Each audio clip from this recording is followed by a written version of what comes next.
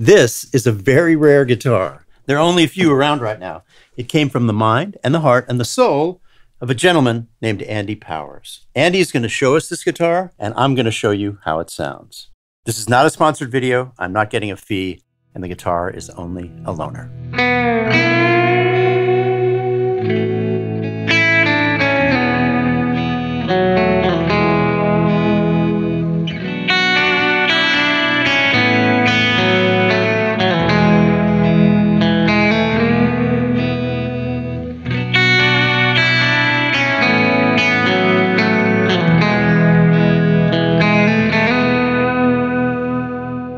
One of the most trippy things with it for, for a lot of players is that it's a hollow body guitar. It looks like a solid body because there's no sound hole in it, but it's actually totally hollow.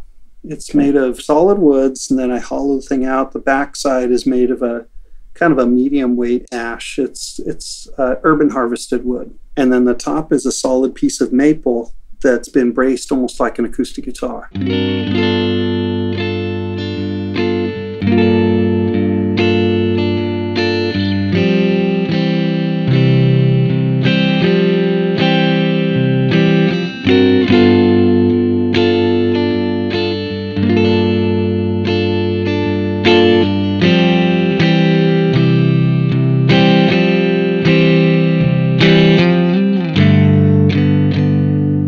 Long story short, this pickup is technically a single coil pickup. In this case, you get to use that cover of the pickup as a noise barrier. It's kind of a Faraday shield. So they run pretty quiet, but you can use that to influence how the magnet is and coil are listening, we'll call it, to the string. And so you end up with this sound that's clear and warm at the same time. So I'm using a real modern rare earth style magnet, a neodymium magnet, because there's a very strong, powerful type of permanent magnet.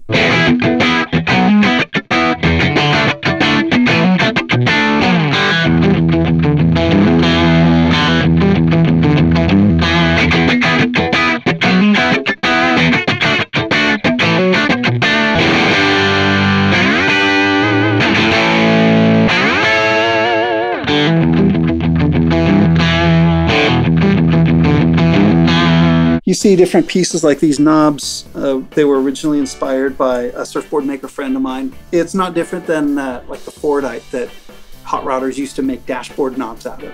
Fordite was the leftover like alkyd or acrylic resins after you know a series of cars were sprayed in a an assembly line. Every couple weeks you go chip out all over sprayed. You've got this massive, cool, multicolor swirly material. People would make stuff out of it. Well, surfboard makers end up with the same stuff. You know, you're glassing surfboards in a traditional way, and it all drips off the board onto the floor. Yeah. Uh, well, after a while, you go, you got something you can make out of that. Right. And so, thought, well, this is really cool. I'm gonna, I'm gonna actually make some surfboard stuff. I'll put that on there. So that's what the knobs are. You take influences like the, this is these pickups I engine turned you know so an engine turning that was a, a style of metal finishing that you saw on like the, the dashboard insert for a 32 ford. You'd see it on you know like world war ii era airplanes. Yeah. you know you'd see it on hot rodders. Yeah. you know they'd want to trick out an engine or the firewall you know behind their engine or something. But ford did it on a bu- as trim pieces you know i think it's fun. So there's a lot of that kind of influence in it including the colors. Like these are col- all colors for cars that I've either had or loved or wanted to have. You know, Yeah. this particular one is a 55 introductory year Thunderbird color. It's called Aquatone Blue originally. I just always liked that color. That one is a Porsche color. That one's a color called Signal Yellow. You know, there's And then you gave us sort of a traditional flame, Yeah, yeah, that flamey one- top right there. That yeah. one is a curly maple, Yeah. figured maple top. I don't know what to call that color. yeah, It's just it's more of a guitar. It was like a bright blue. I thought it was kind of fun to do, you Yeah. know. So in about 30 seconds, I'm going to demonstrate sound-wise one of the great virtues of this guitar, I think. But here's another virtue. This is a camshaft.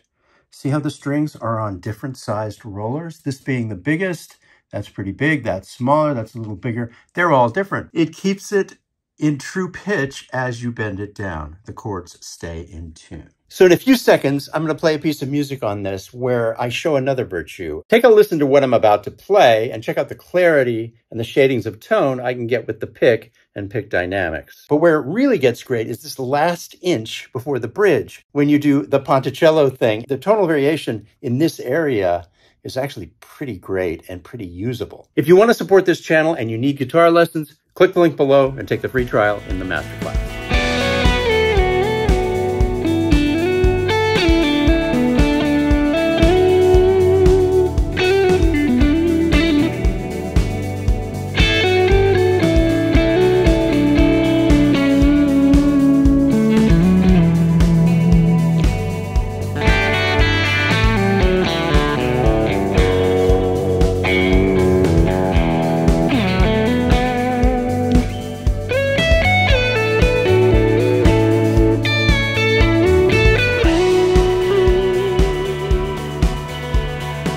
I like the basic mechanism that was an in, kind of inspired by Bigsby. Mm-hmm.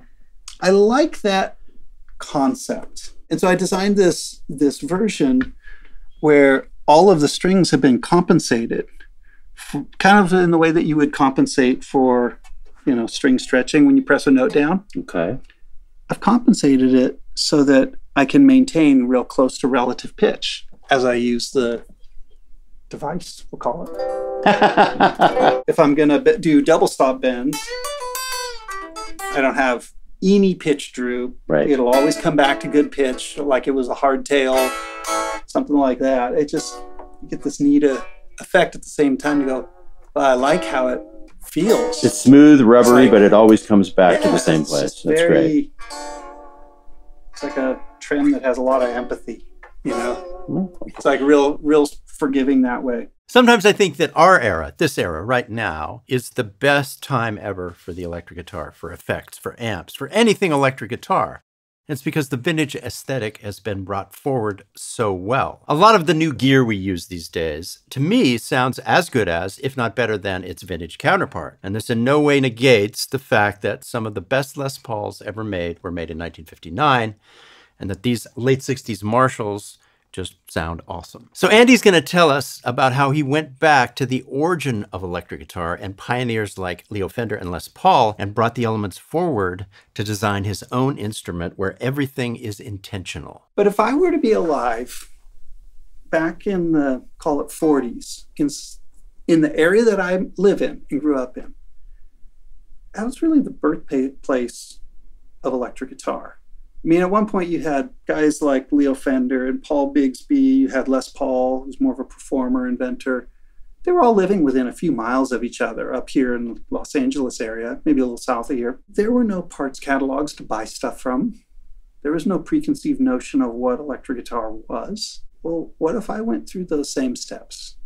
And so I started mixing my love of cars and my love of surfboards and surf design, all of that stuff put into put into a really neat, unique musical instrument. It's a sound that's different than the other guitars that I have and love, but it's a sound that I would like to hear in the context of a song. One of the things that's that is a real trip, even with the hardware and the pickups and everything, if I took the strap button off, Mhm.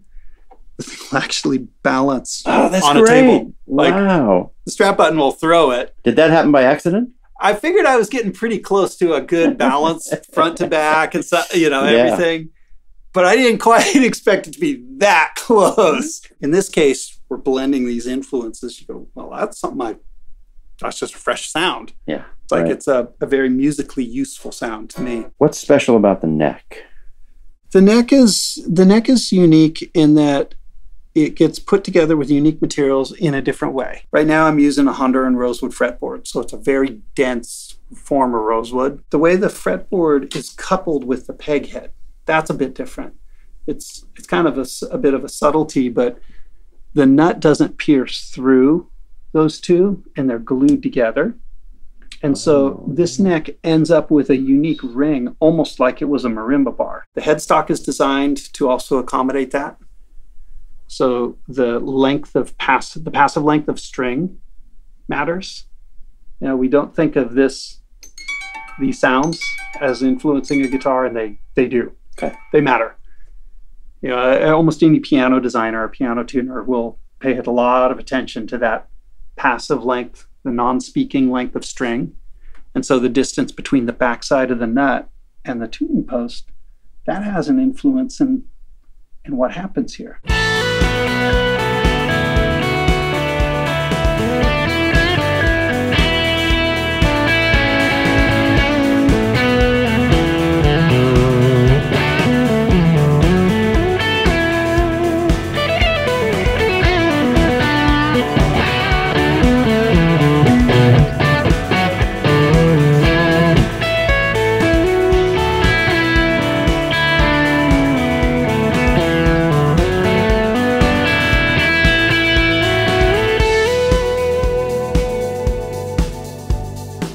Hey guys, a lot of the time YouTube will bring you my videos even though you're not subscribed. If you get the chance, click this subscribe button and ring the bell.